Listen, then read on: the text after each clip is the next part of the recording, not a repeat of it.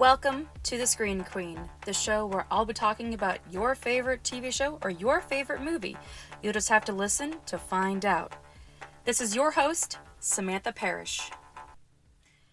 Hello there, and welcome back to the show. As always, I am your lean, mean movie talking machine, your screen queen, Samantha Parrish. So, Spirited Away is one of those movies that changed my life. I remember when Spirited Away came on when Cartoon Network did a Miyazaki month and they did Spirited Away and then Princess Mononoke and then Castle in the Sky and finished off with Nausicaa of the Valley and the Wind. And it was just like the best month of my 10 year old life. But above all those films that I do love and respect, Spirited Away is, well, my all time favorite Studio Ghibli film. It was my introduction into another part of anime to see something that wasn't Yu Yu Hakusho, something that wasn't Dragon Ball Z, something that wasn't Sailor Moon. There's something about the Miyazaki films that just has a different vibe than the usual animes that we see. And most of that is due to the fact that the movies that he made were to please his children. When he became a dad, that forever changed the way he did animation, and it really does show in all of his movies.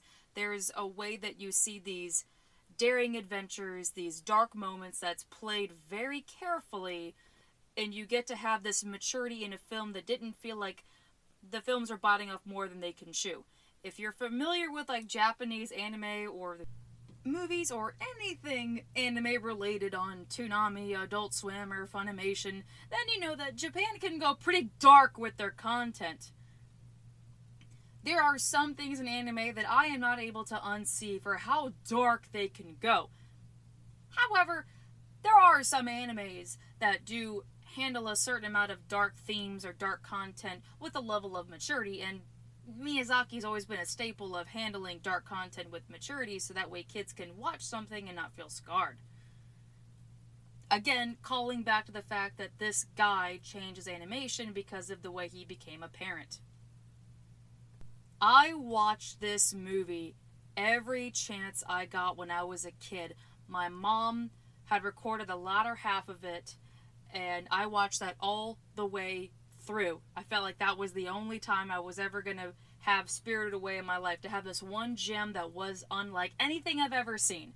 And when my mom finally bought me the DVD, oh, I'm surprised that motherfucker wasn't broken for how many times I watched it. I made my grandparents watch it with me, and they even liked it, despite not liking me getting so immersed in the media. And then, well, here I am. that didn't change much.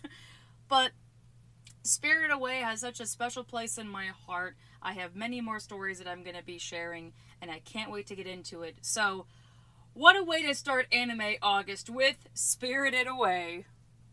So, starting off the episode, as always, I don't know if much of my audience is familiar with anime, and I don't believe in leaving people in the dark if this is not really the bread of their butter in terms of what they watch. So I'm gonna go ahead and give a little synopsis to what Spirited Away is.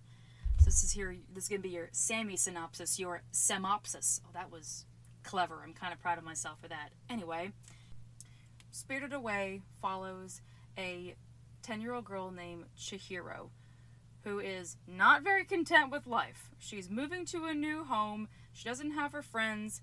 As far as she's concerned, life is over.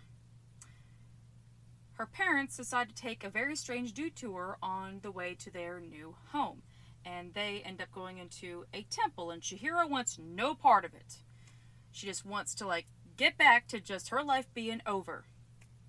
However, something strange happens to her parents as she has found that they've been turned into pigs. And she has no way to get back to the real world. She's stuck in the spirit world. A young, mysterious boy named Haku comes to her aid. She has no idea why he wants to help her, and he has no idea why he wants to help her. It's like a very interesting little complexity you have going on in this film. And she's going to have to do whatever she can to survive as Haku gets her a job in the bathhouse in order to stay near her parents until she can figure out how to turn them back into humans.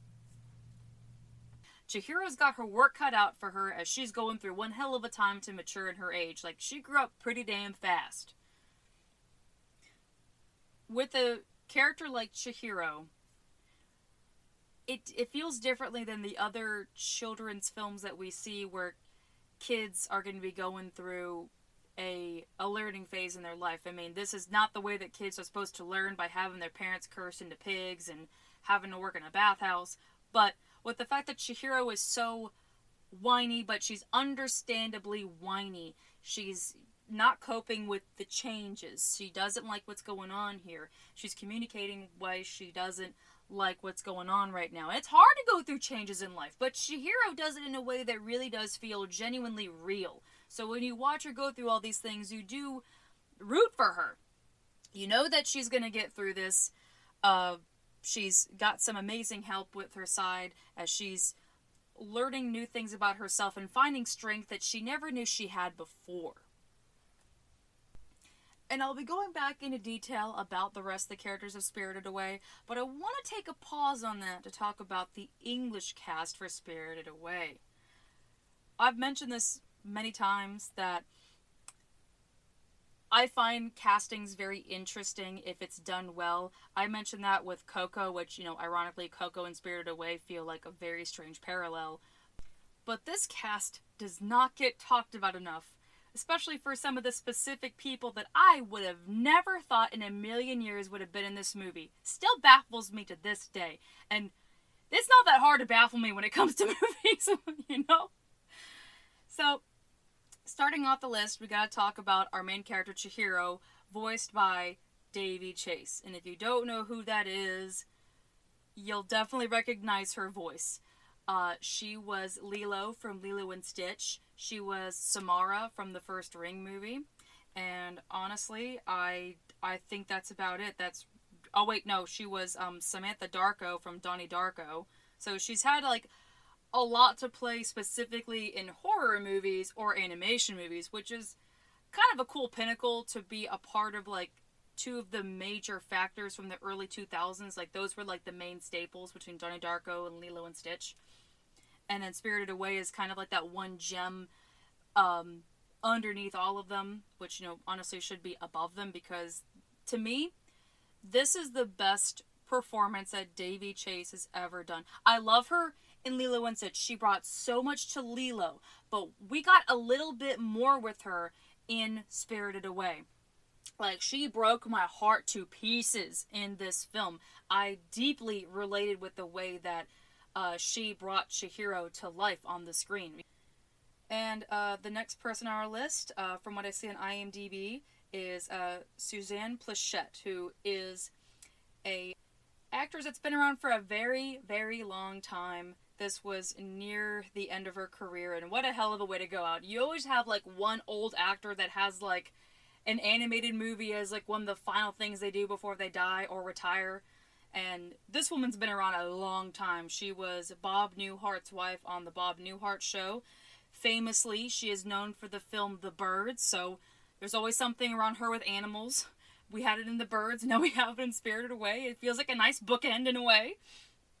Difference is that there, actually, no, there was a, she did play a bird. I forgot. That is actually kind of ironic that she voices a woman uh, that is a sorceress in a way. I don't know how to call Yubaba, but she is definitely a magical being and she does transform into like this big giant bird thing and she does have a bird thing henchman, I don't know, whatever you want to call it. So birds is kind of symbolized with her. I wonder if the birds was mentioned while she was voicing uh, Yubaba because like how can you not? It's such an interesting connection.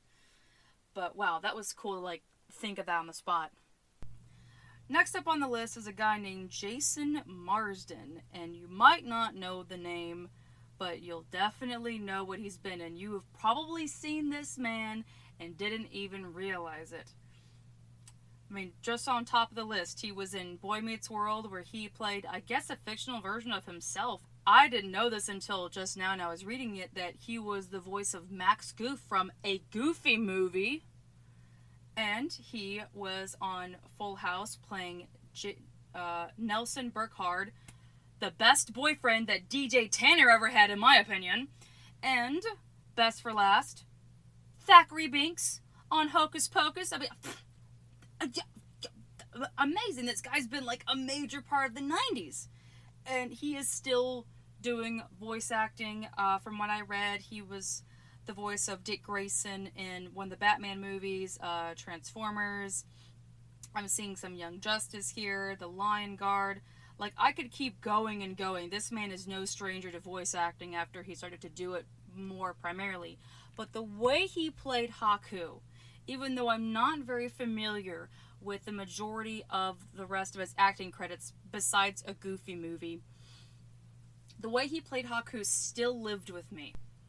From what I remember about this actor and the way that he plays characters, that he was very specific on how he gave layers to some certain characters.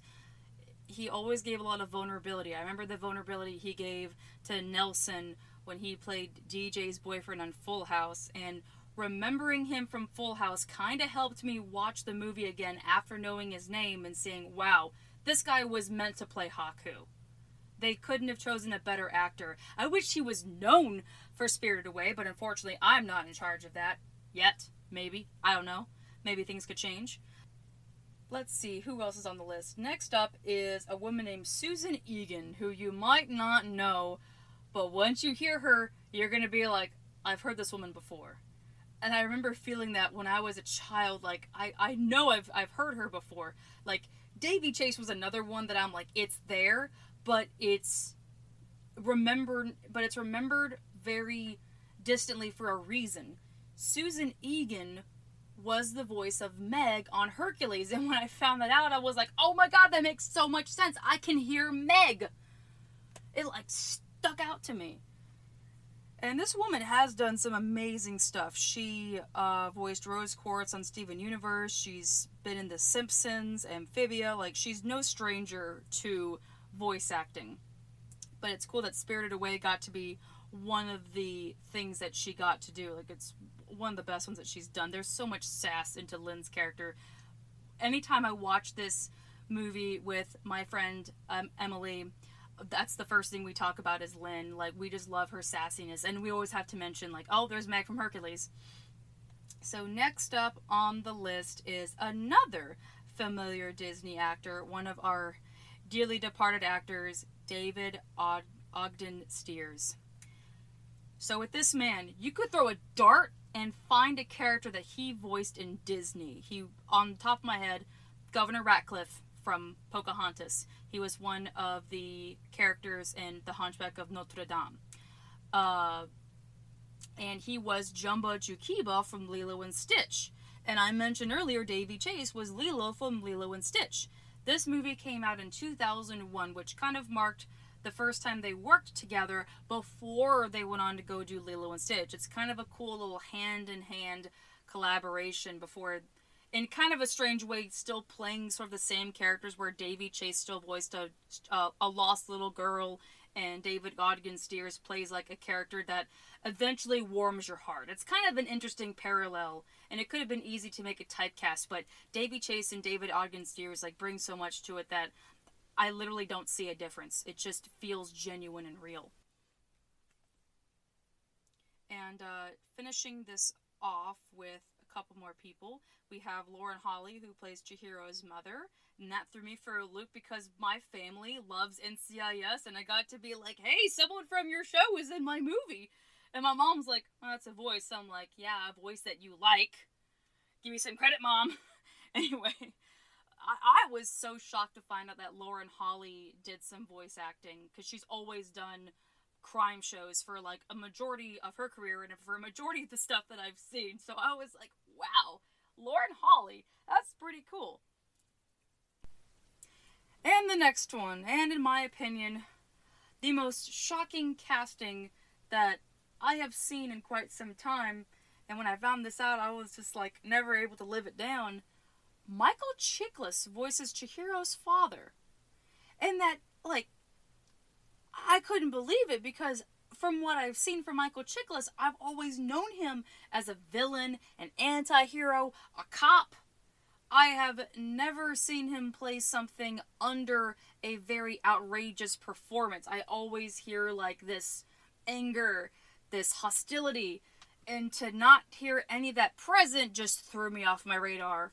Even when I started to understand more of like catching on to certain voices, like that just went over my head completely. It wasn't until one day I was going through the voice cast of Spirited Away and when I was starting to recognize some of the actors after I got familiar with other actors and actresses, seeing uh, Michael Chiklis pop up, I was just like, really?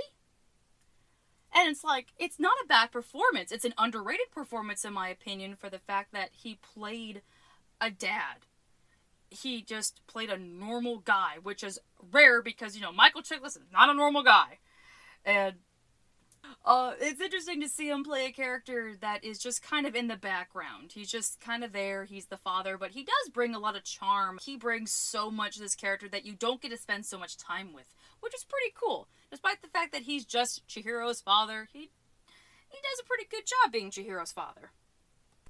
So we're almost done. I got one more left. Thank you for being troopers and having to endure the cast list, but I can't not mention this last one. Because Hayao Miyazaki's films had a big help from Disney, like getting in there. You know, one of the other Disney dudes is going to be in there, specifically one of John Lasseter's dudes, specifically one of the dudes that always has a cameo and has played in every single Pixar film.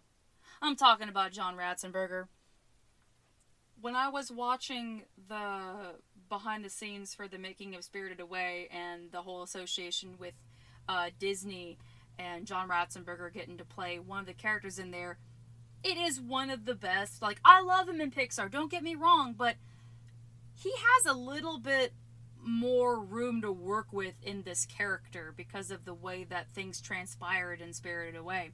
Like, this is kind of a minor spoiler alert, but he plays a character that's one of the workers for the bathhouse and does this song that I'm not going to sing because I feel like I can't do it justice because John Ratzenberger did such a great job with it, but here you go.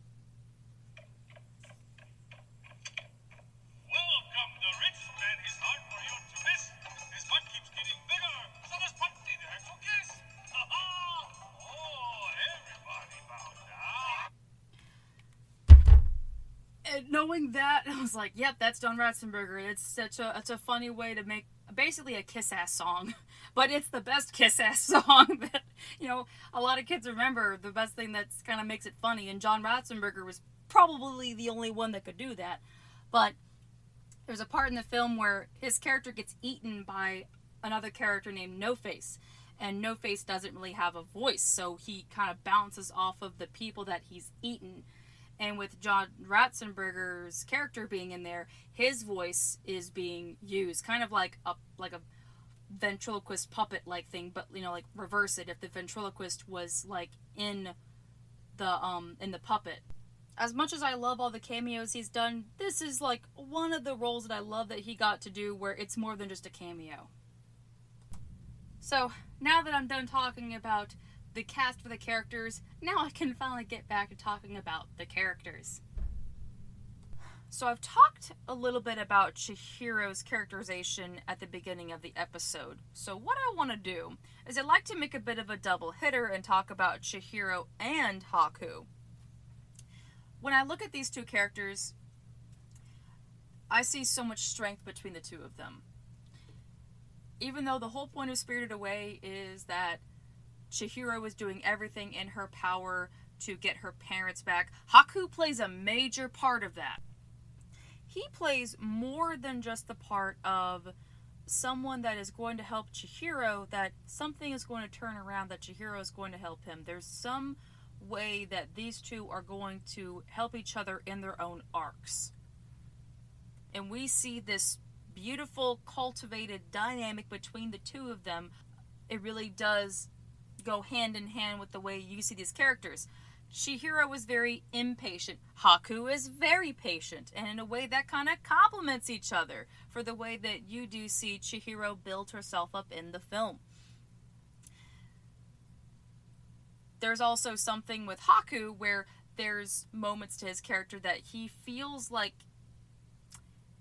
he's being controlled. Like there's something else going on there, but you don't quite know yet because he'll flip so quickly.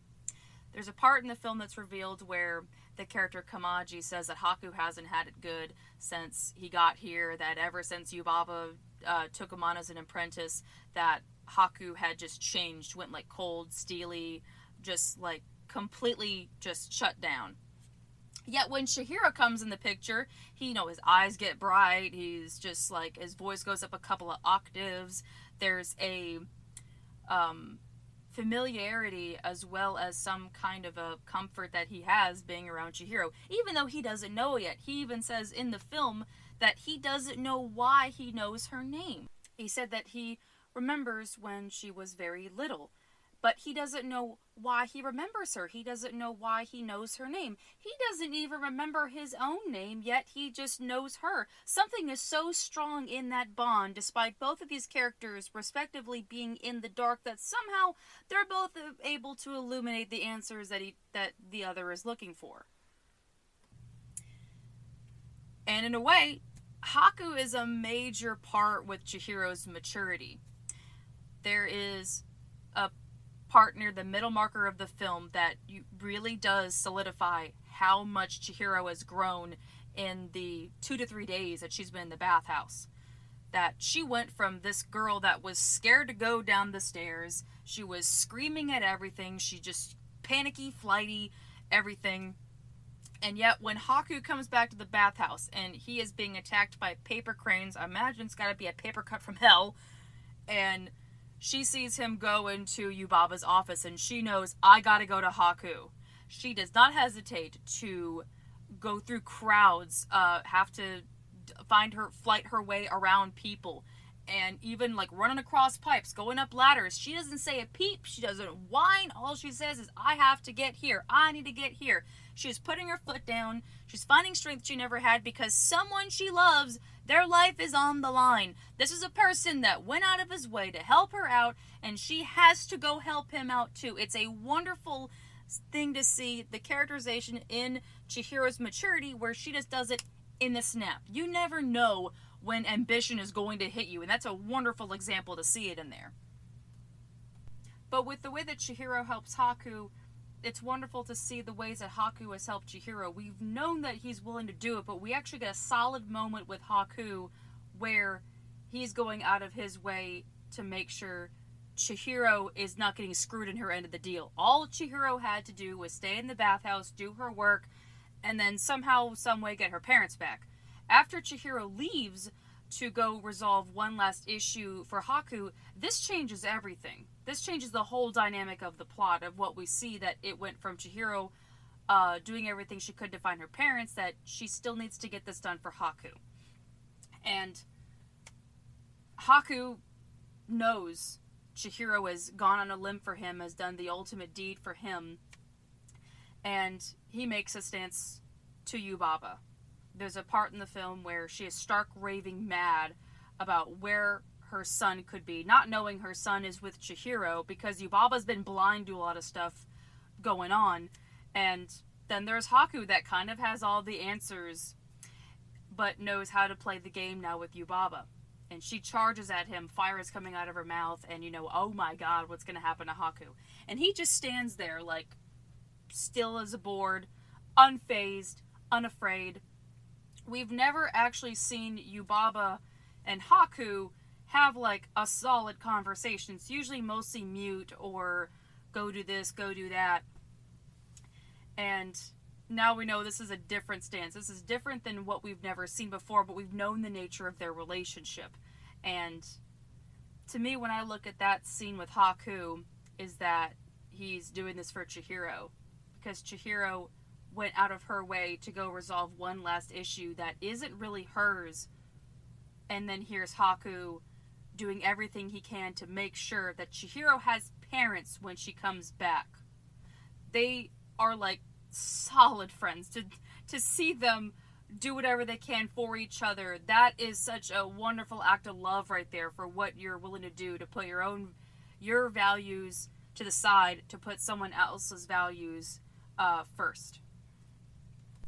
Looking on this film and all of its characters, there aren't really any villains in this movie. We have Yubaba, that's a sorceress, and she's just kind of doing things for her own game, but she's not really malicious. Like, she does care about her big ass fucking baby. That kid's been eating some Wheaties, but she's not really a, a bad character. She's just doing things for an amusement. That's kind of like what sorceresses do. Again, I don't know for certain if she's a sorceress, a witch, just a magical being, whatever it is that makes her otherworldly. She's not really bad. Like, even in the end of the film, she's upheld her end of the bargain. She let Chihiro's parents go. Like, she could have just smited them. She, she could have been like the bad guy character, but that's the wonderful thing about Hayao Miyazaki's characters is that all of the uh, like characters that were a little bit sketchy get redeemed in the best way possible, or they're just kind of there, and that's okay. They can still be mischievous, but they're not going to be malicious.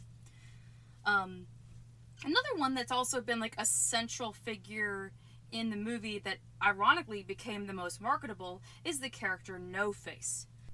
Thinking about No Face, I you know I, I think I almost hurt my brain having to think about him for the fact that there are elevated moments with this character. When we're first introduced to No Face, uh, he comes into the bathhouse after Chihiro let him in, and uh, there's a very there's like a childlike demeanor in a way with No Face that he's kind of naive to some certain things. He tries to get all these bath tokens for Chihiro, knowing she needs them because of like, oh, this little girl let me in the bathhouse and I want to repay her.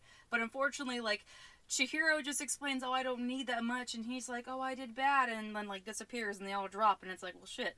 He's he's kind of hard to take some social cues sometimes because he's been alone all of his life, but shit hits the fan pretty quick when um no Face ends up eating some of the people. After he can make gold, he's like worshipped and celebrated, but like once something bad happens, he just flips very quickly. He's kind of an unstable character. Uh, when he presents this big pile of gold right in front of Chihiro, like all the wealth right there, and she said, no, I have to go help my friend. And like that selflessness we see with Chihiro. And No Face can't understand that. Like, even though it's virtually a kindness onto a kindness, but it's different directions of kindness. And unfortunately, No Face's kindness takes a turn where he becomes unstable, and Chihiro's kindness takes a turn where she's becoming more uh, selfless. And trying to go help Haku during the critical part of the film. And that really ties everything together and your mile marker for how things have changed with how all these characters divulge into their own paths.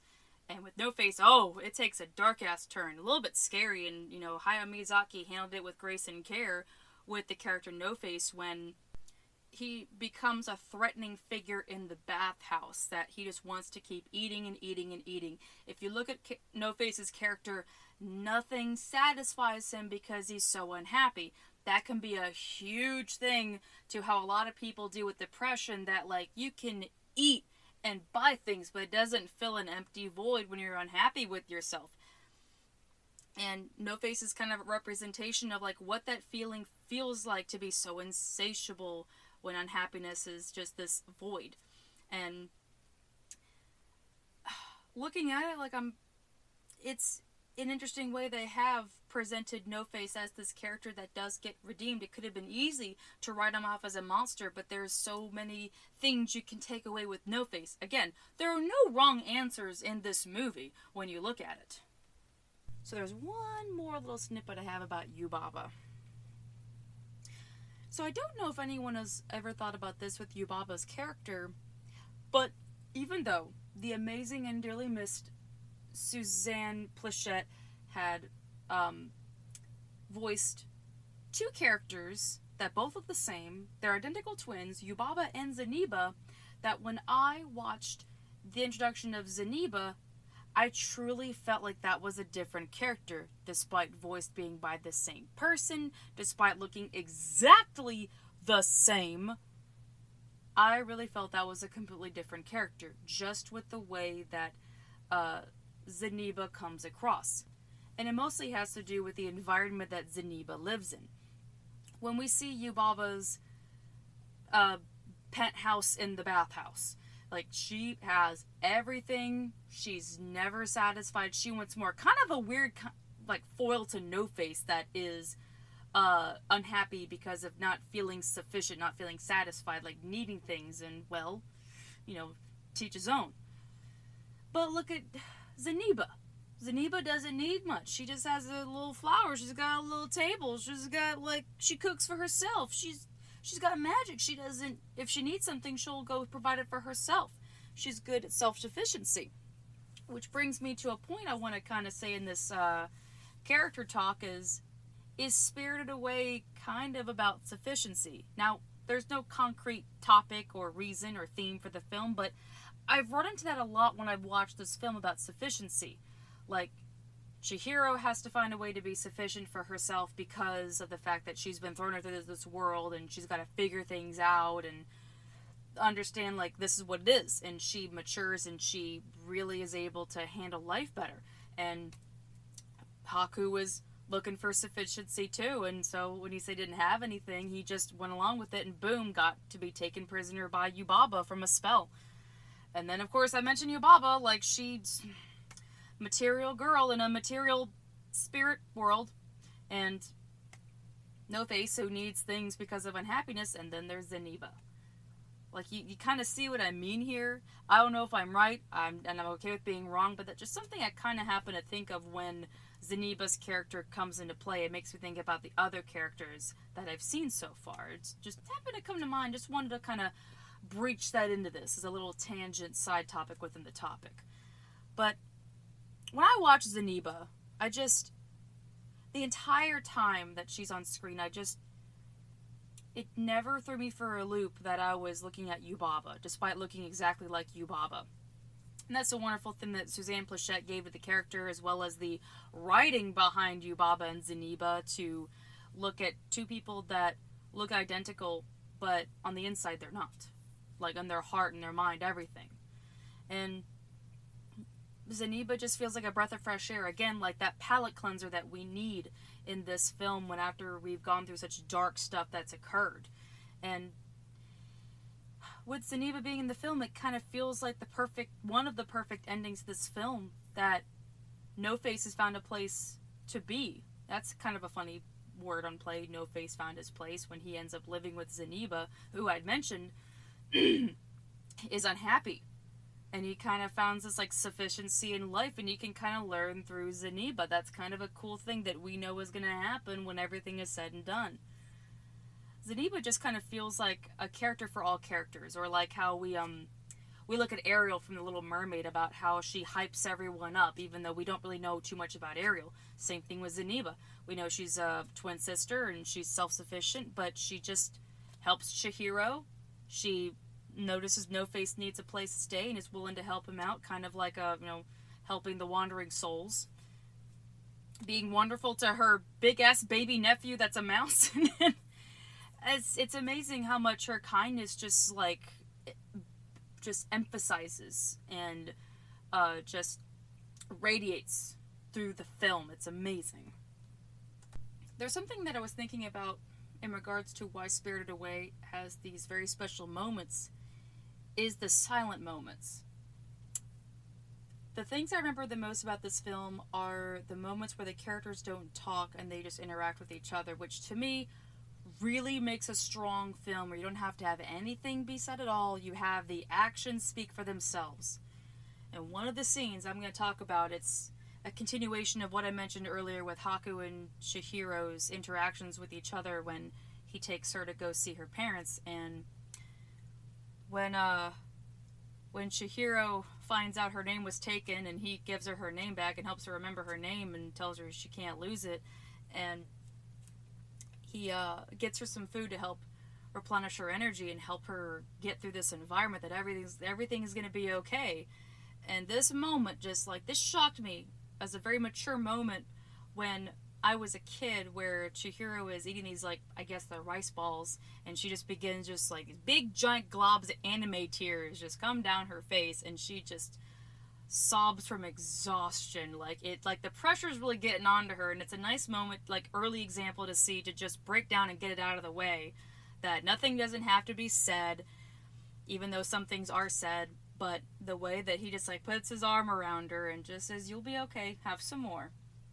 Like it's gonna work out on its own. You don't know how it's gonna happen yet, but you know with the trust you have in Haku and the way that Chihiro was taken care of that she's gonna be okay. It's a nice comforting moment to have in a film that already had very dark moments. It felt like a giant palate cleanser we all needed before we digest more darker moments of the film. Just that's just me personally looking at that when I remember watching as a child and thinking about that as an adult. There's another scene that I love that I feel just speaks volumes by itself, and it's just the pacing of it still stuck with me. And it's the scene right after the one that we just saw with Chihiro just processing everything going on and just having a little bit of a some time in her emotions. Now it's a lot for a 10 year old of what she's going through, and it's a major factor for her.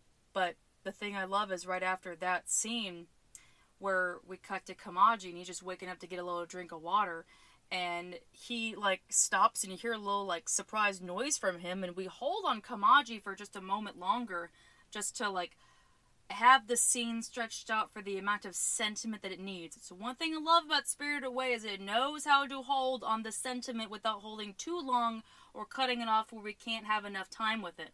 And we immediately see what he's seeing, which is Chihiro just kind of curled in on herself after Uh, you know, just a little post breakdown nap. And all the Soot sprites are staring at her. And it's such a wonderful little calm sentiment moment where she's getting acclimated to this life that's going to be hers for just maybe a, a day or two more. And Kamaji just kind of stops for a moment, processes it, and then he uses his long ass Mr. Fantastic arms to take a little nearby pillow to place on top of her. Like, it's such a silent moment that speaks the volume for the fact that he understands this is a lost little girl that doesn't belong here. But everyone is doing what they can to help her acclimate. She just wants to get her parents. It's a little moment that you know everyone's kind of rooting for her. So the world that Hayao Miyazaki makes for us is absolutely amazing. Like you can't unsee anything in this film. It lives in your mind. Everything looks like a Thomas Kinkade photo, but Thomas Kinkade wishes that this that all this animation was on the same level of Thomas Kinkade. Like it's breathtakingly beautiful. But there's one part of the film that has a real life connection. There is a quote unquote famous story that Hayao Miyazaki shared that happened to him when he was younger uh, during the scene in the film where the river spirit is being cleansed, back when he was a stink spirit, and one of the things that's pulled out of the spirit is a bicycle. When Hayao Miyazaki was younger, he had participated in the cleaning of a river, and they were pulling out a whole bunch of random things, one of which was a bicycle and that stuck with him to the point that he had to make that a reference in the film of that part of his life where everyone came together to clean the river. Just like in the film, everyone came together to clean the river spirit. What a giant parallel. Like, it feels like the same story, even though there's a major element of supernatural uh, enchantment behind it. Still, that's a pretty cool little parallel. Just to have a story from his life be in the film in a different way. And there's one other real life element that goes into the film, and it has to do with the main character, Chihiro. If memory serves, I remember, and if I'm wrong, I'll put a little note in the description box, that Chihiro is based off of one of Hayao Miyazaki's children's friends. That I mentioned earlier in the film that the whole reason his filmmaking changed was when he became a parent and a lot of the elements around his children like made its way into the film. And there was a friend of their children's. I hope they're still tight because that's an amazing element like wow hi i'm the friend of hayao miyazaki's children that i was based off of. It was me. Anyway i get that on my system. Uh, she was the inspiration behind Chihiro. That Hayao Miyazaki had said that she had this perfect pouty face, like the perfect kind of ten year old, like uh, just immature, pouty face that just seemed to be perfect for a character like Chihiro. Like it captured that perfect essence that he needed to make this character of our heroine having to go through a major life change and jump some hurdles and going into maturity in a very unlikely way. And it's, it's kind of cool that it all like stems from that. But with all these elements in the film, it's no wonder it's still regarded as one of the best animated films. You'd be so surprised how much success this film made. This is the first anime film to ever gross more than $200 million in the US. Let me see, here's some other stuff. It was the highest rated film, the highest rated animated film on Letterboxd. It's ranked 37 in non English speaking film in critics' poll conducted by the BBC in 2018. Like, even every year as we're getting more animated films, Spirited Away still stands the test of time. It was the second animated film to be the winner of the Academy Award for Best Animated Feature, the first being Shrek. Like, look at that. A non Disney film won an Academy Award, and another one that had some help from Disney, just a little bit of help without taking like Disney credit had also been featured. Like that's kind of cool. Two non-Disney films that were able to win an Academy Award. Um,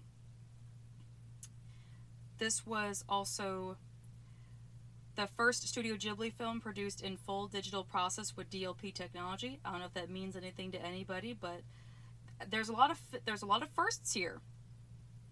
This was the highest grossing film in Japanese history before being surpassed by Demon Slayer, the movie Mugen Train in 2020.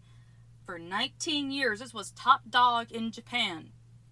But in the US, it still became the first, like, Japanese film to ever gross, gross so much money. It's just amazing how many firsts this film has made, as well as the lasting legacy that it's had. And even to this day, as I'm talking, there's no way Spirited Away can't exist in society. Now that people are becoming more open to anime, I go into Hot Topic and I see more Spirited Away stuff, and I'm like, where were you when I was 12? You know? And it's so cool to see how this film is being celebrated. Like, Kiki is also celebrated.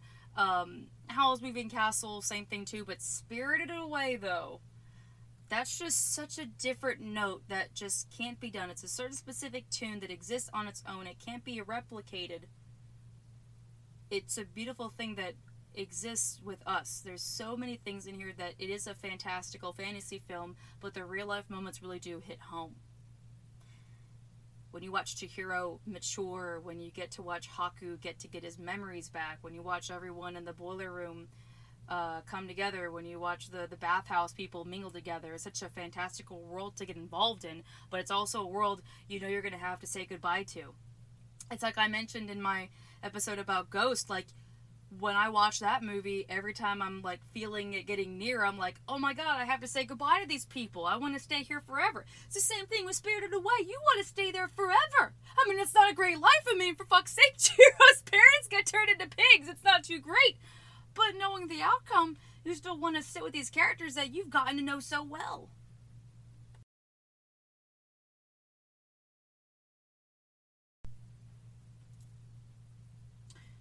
So, there's something that's been a staple of Hayao Miyazaki's movies is uh, pigs. He had a main pig character named Porco Rosso, and there's always been a mention of a pig in different films. I don't know what this man has to do to hog the attention with pigs, but okay you know, teach his own. Everyone's got their own.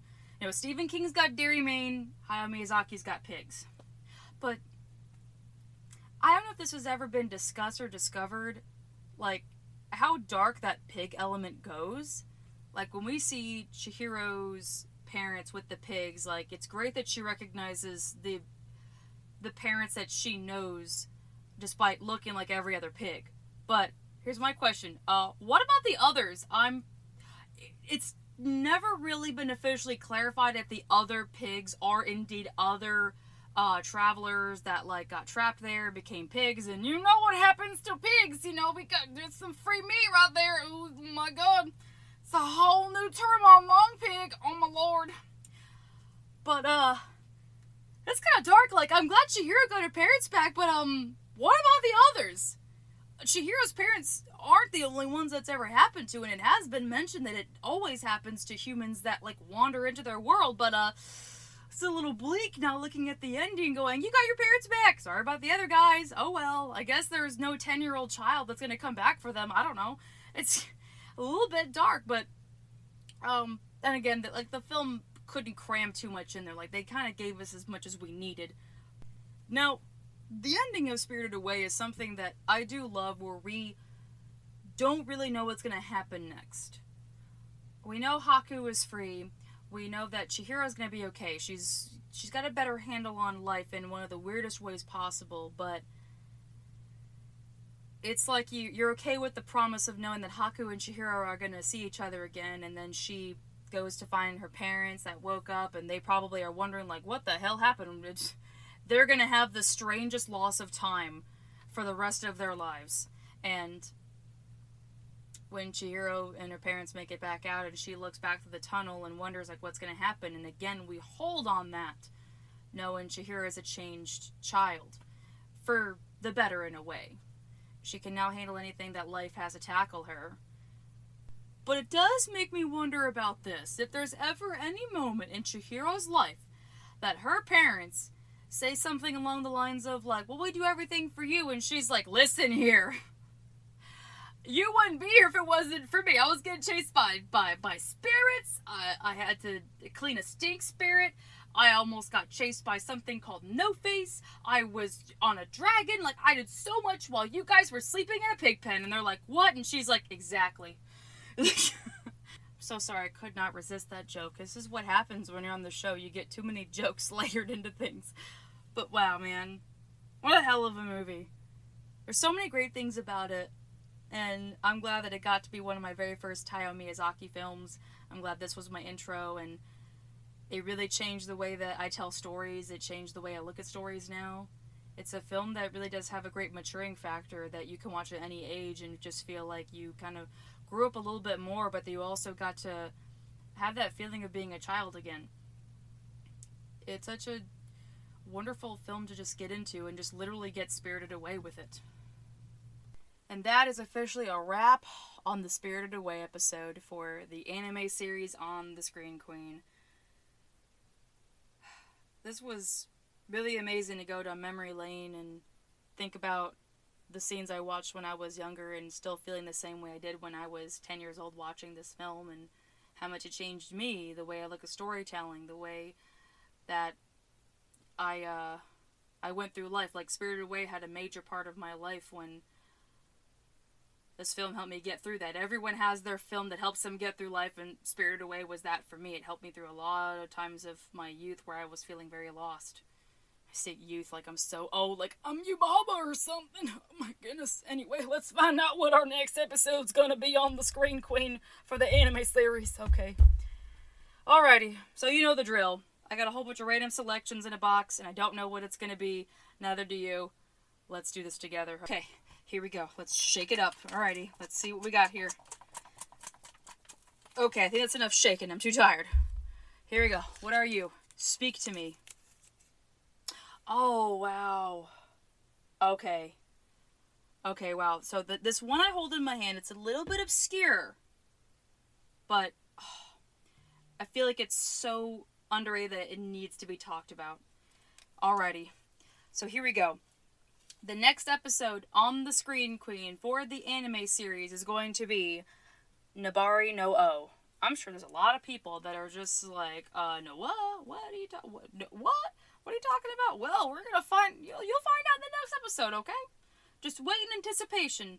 But if you can't wait in anticipation, if you just need to have more information, you can find me on my Instagram at the Queen of the Screen for more movie content, TV content. If you just want to say hi, shoot me a recommendation. Um, if you would like to see some funny movie related stuff I put up on TikTok, you can find me at the Mystical Space Witch. And if you would like to check out my book series Inglorious Ink, you can find it in the description box and on Amazon. Either way, both works. Alrighty, you all take care now. Stay safe, stay cool. I'm just trying to get through this summer. I'm starting to feel like the Wicked Witch of the West. I'm just melting every time I get outside, but that's that's summer for you. Anyway, you all take care. Stay amazing. This is your Screen Queen signing off. Bye bye.